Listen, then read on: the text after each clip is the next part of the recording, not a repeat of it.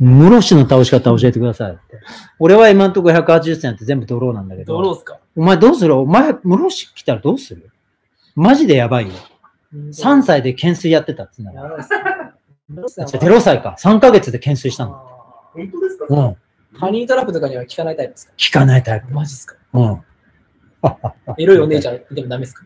うお姉ちゃんにいたら、多分足持ってこうやって投げちゃう。あいつああザバラバラバラって投げちゃうから、聞かねえんだよ。聞かねえの。どうする？お前、室伏来たら。やべえよ。やべえ、マジで。やばいっすね。うん。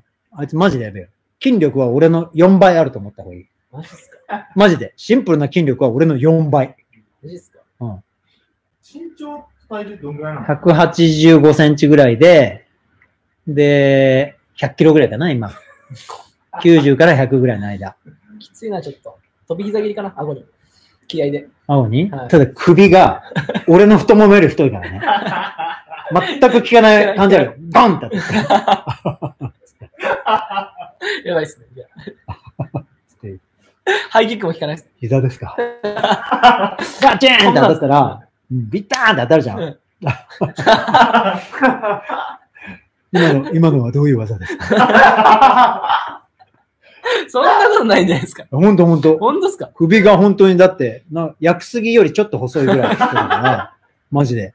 あれはマジでやばい。打撃がほとんど効かないからね。マジか。うん。掴まれたら終わりだから。疲れたら終わりっすか？うん。だっでて、走るの早い。7, 7キロの球を80メートル投げれるんだよ。ってことは10倍の70キロのお前が来ても、8メートルは投げれるってことだよね。そういう計算だからね。パワ算ー的には合ってます、計算。合ってるよ。だって10倍重いものになったらさ、10分の1に距離がの落ちるわけでしょ？その計算。じゃあ10メートルぐらい飛ばされるってことですか？回を8メートル、バーって投げれるわけだから、どっか掴んじゃえば。それは危ないですね。うん、あれ危険だから気をつけて。気をつけて、ほんと。勝ちたかったら登録しとけい。